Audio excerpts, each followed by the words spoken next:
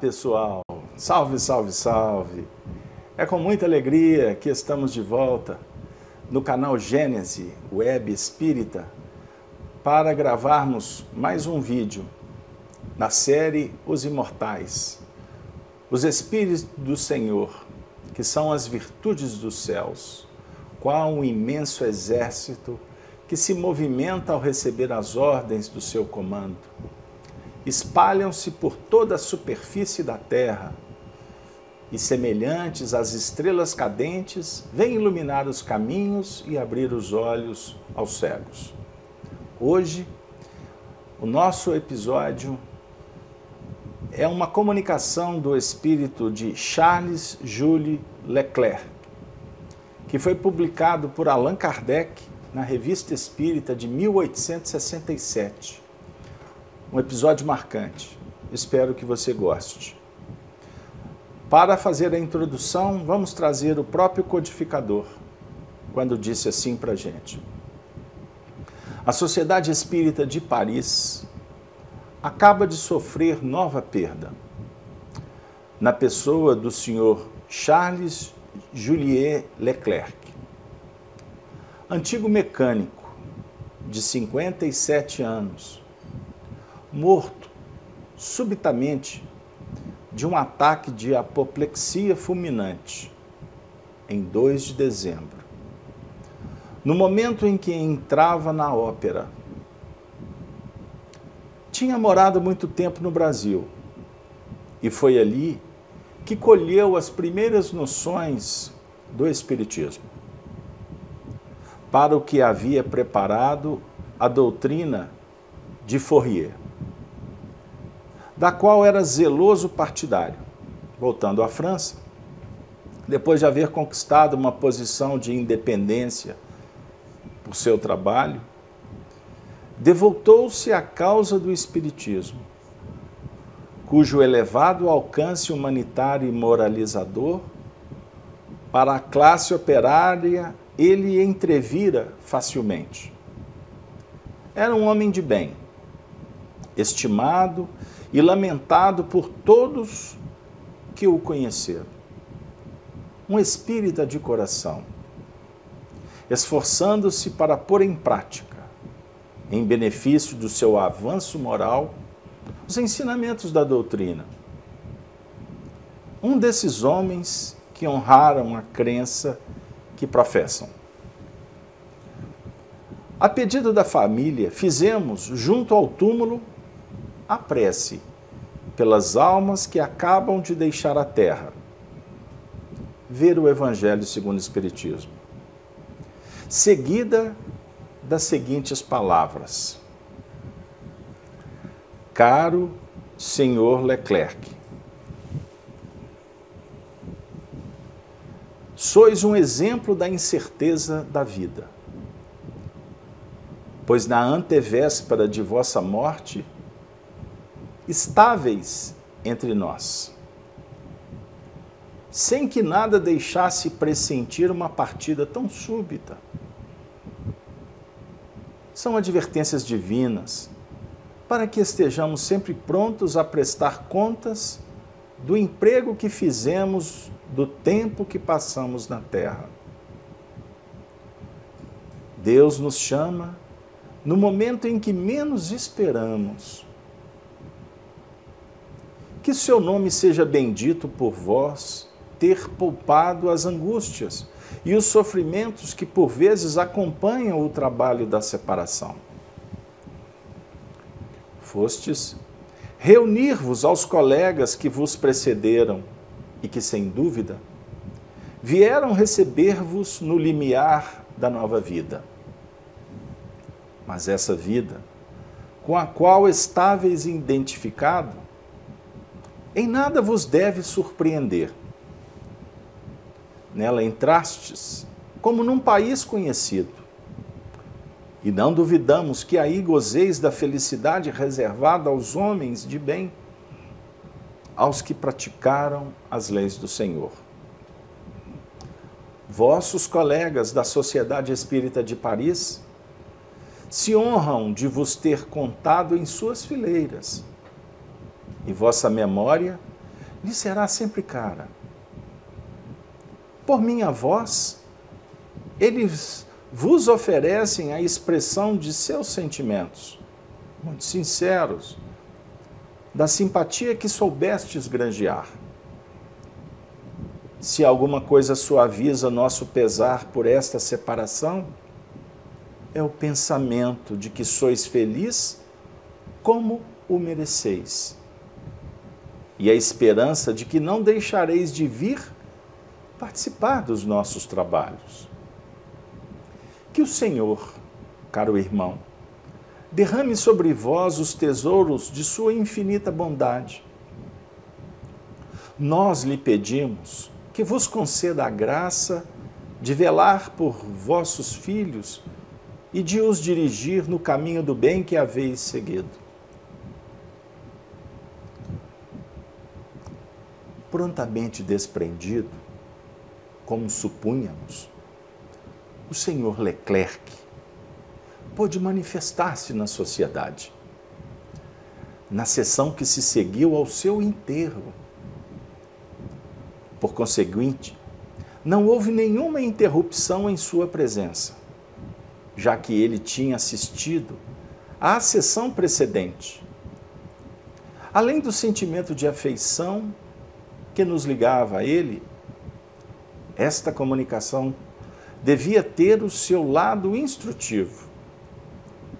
Seria interessante conhecer as sensações que o acompanham esse gênero de morte. Nada do que possa esclarecer sobre as diversas fases dessa passagem que todo mundo deve transpor. Poderia ser indiferente. Eis a comunicação. Sociedade de Paris, 7 de dezembro de 1861, médium senhor Delian. Ouçamos o senhor Leclerc. Posso, enfim, por minha vez, vir a esta mesa. Embora minha morte seja recente, já fui tomado de impaciência mais de uma vez. Mas eu não podia apressar a marcha do tempo. Eu também vos devia agradecer a prontidão em cercar os meus despojos mortais e os pensamentos simpáticos que prodigalizastes ao meu espírito. Ó oh, Mestre, ó oh, Mestre, obrigado por vossa benevolência, pela profunda emoção que sentistes, acolhendo meu amado filho. Como eu seria ingrato se não vos conservasse uma eterna gratidão. Meu Deus, obrigado. Meus votos estão realizados. Este mundo que eu não conhecia, senão através das comunicações dos espíritos, hoje posso apreciar a sua beleza em certa medida, experimentei as mesmas emoções ao chegar aqui, mas infinitamente mais vivas do que as que sentir ao atracar pela primeira vez nas terras da América. Eu não conhecia esse país, o Brasil, senão pelo relato dos viajantes e estava longe de fazer uma ideia de suas luxuriantes produções. Deu-se o mesmo aqui. Como esse mundo é diferente do nosso. Cada rosto é a reprodução exata dos sentimentos íntimos. Nenhuma fisionomia mentirosa impossível a hipocrisia. O pensamento se revela inteiramente ao olhar. benévolo ou malevolente, conforme a natureza do espírito. Pois bem, aqui ainda sou castigado por minha falta principal. A que combatia com tanto trabalho na terra e que tinha conseguido dominar em parte. A impaciência que tinha de me ver entre vós perturbou-me a tal ponto que já não sei exprimir minhas ideias com lucidez. Embora essa matéria que outrora tanto me arrastava à cólera não mais exista. Mas, vamos, é preciso que eu me acalme. Ó, oh, fiquei muito surpreso com este fim inesperado confesso, eu não temia a morte. E desde muito tempo a considerava como o fim da provação. Mas essa morte tão imprevista não deixou de me causar um profundo abalo. Que golpe para minha pobre mulher! Como o luto sucedeu rapidamente ao prazer eu sentia verdadeira satisfação em ouvir boa música, mas não pensava estar tão cedo em contato com a grande voz do infinito. Como a vida é frágil. Um glóbulo sanguíneo se coagula. A circulação sanguínea perde sua regularidade tudo está acabado. Eu teria querido viver ainda alguns anos, ver meus filhos todos encaminhados, mas Deus decidiu de outro modo. E seja feita a Sua vontade. No momento em que a morte me feriu, recebi como uma bordoada na cabeça. Um peso esmagador me derrubou. De repente senti-me livre, aliviado. Planei acima de meus despojos. Considerei com espanto as lágrimas dos meus. E, enfim, dei-me conta do que me tinha acontecido. Reconheci-me prontamente. Vi meu segundo filho a correr, chamado pelo telégrafo. Ah, bem que tentei consolá-los. Soprei-lhes meus melhores pensamentos e vi, com certa felicidade, alguns cérebros refratários pouco a pouco, inclinados para o lado da crença que me fez toda a minha força nesses últimos anos, à qual devia tão bons momentos. Se venci um pouco o homem velho, a quem o devo? Senão ao nosso caro ensino aos reiterados conselhos de meus guias? E contudo, eu corava, não obstante espírito, deixando-me ainda dominar por esse maldito defeito, a impaciência. Por isso sou castigado, porque estava pressuroso para me comunicar e vos contar mil detalhes que sou obrigado a adiar. Oh, serei paciente, mas com pesar. Estou tão feliz aqui que me custa deixar-vos. Entretanto, bons amigos estão junto de mim e eles próprios se uniram para me acolher. Sanson, Baluze, Sonês, o alegre Sonês, de cuja verbe satírica eu tanto gostava.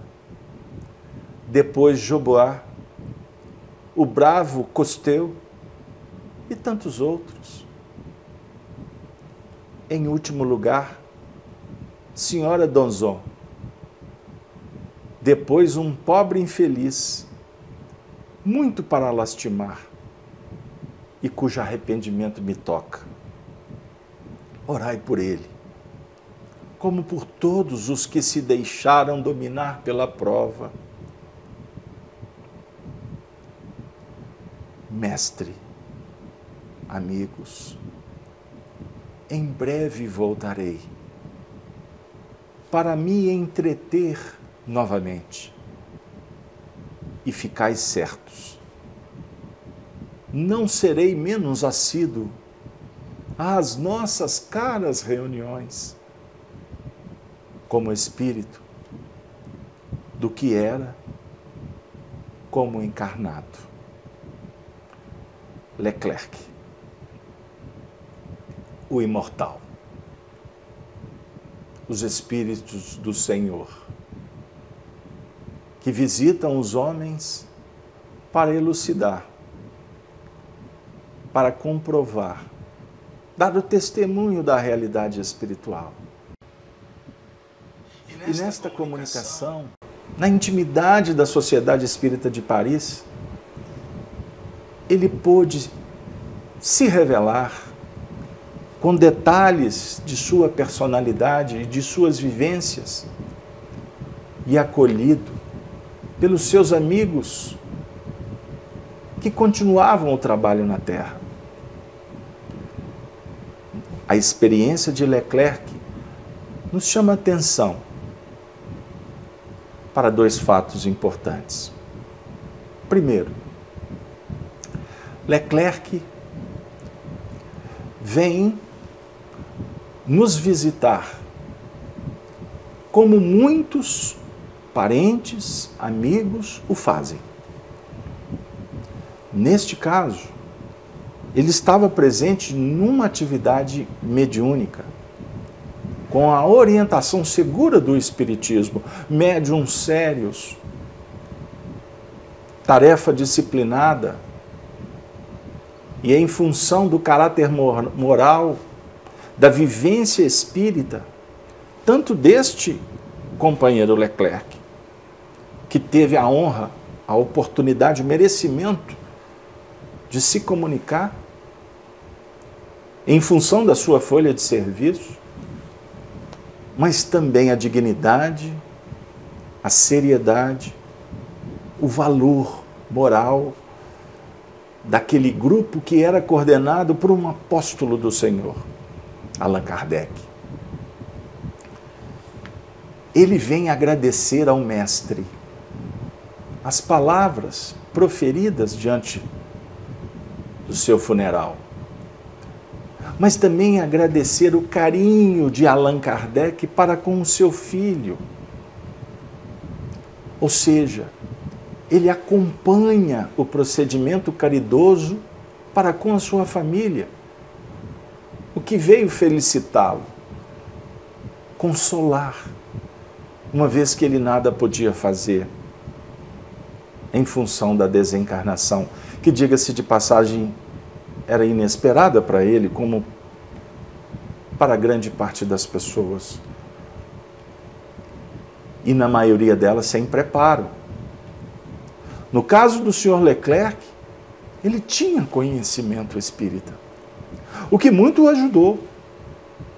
Mas ressalto: o que é mais importante não é apenas o conhecimento, mas é a conduta moral, É a dignificação que o indivíduo empreende na sua crença. O que lhe concede, então, merecimento. Porque não há favorecimento, privilégios no mundo espiritual. Não basta dizer Senhor, Senhor, como o próprio Jesus afirma para nós no sermão profético do Evangelho de Mateus, por exemplo. É necessário a tomada de consciência, a aplicação dos conceitos para o engrandecimento interior. Mas há ainda um ponto que nós podemos trazer sem estender esse vídeo, que é a prova que ele ressalta, que ele lutou para dominar entre os homens, na sua realidade íntima, a impaciência, a ansiedade. E ele nos narra que muitos passos foram dados. Mas ao chegar no mundo espiritual, aonde não há mentira, aonde as faces representam a bondade ou a malevolência, no mundo espiritual não tem dissimulação. O que nos chama atenção para os nossos comportamentos sociais. Não existem máscaras. Não adianta adocicar a voz e, inclusive, falar do Evangelho e atacar pessoas, em usar de violência, de preconceitos, de julgamentos puramente humanos. Não. É o mundo da verdade. E ele expõe o seu drama. E no mundo espiritual, inclusive, a ansiedade traz um desconforto, um descompasso, uma dificuldade para que ele pudesse, inclusive, se comunicar, a definir que os nossos estados emocionais no mundo espiritual têm uma repercussão muito intensa, muito séria. O que nos chama a atenção para o cuidado em conhecer a si mesmo, dominar a si mesmo e partir para as transformações nessa trilogia socrática.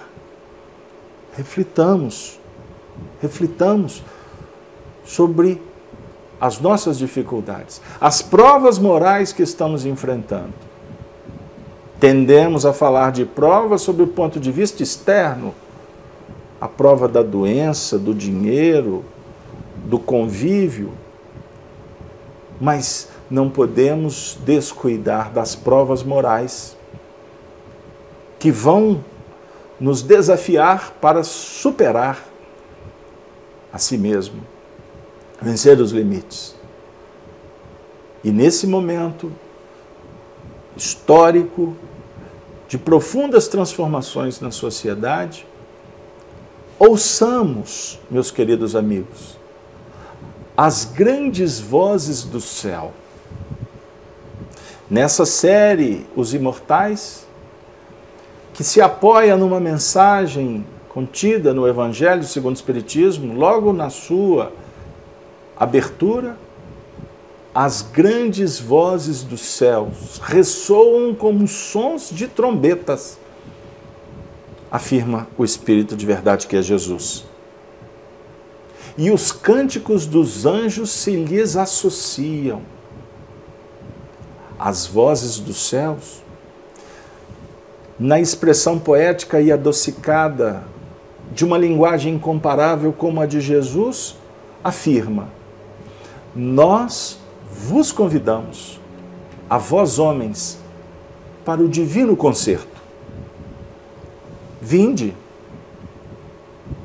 tomai da lira fazei uníssonas vossas vozes e que num hino sagrado elas se estendam e repercutam de um extremo a outro do universo.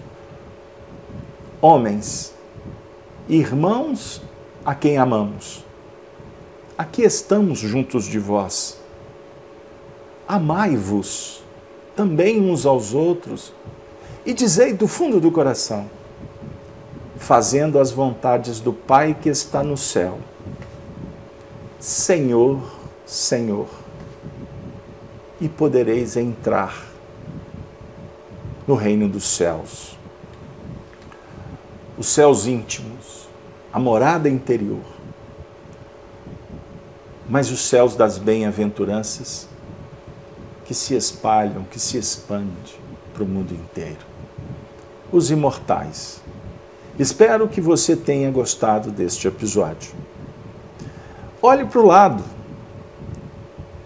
Veja os seus companheiros. Observe as influências que estão à tua volta. E que esse laboratório possa significar um estímulo para que você pense diferente e faça diferença. Que este Vídeos Imortais é a nossa rogativa.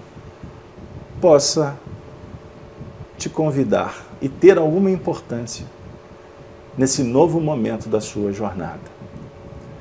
E que eles continuem nos inspirando.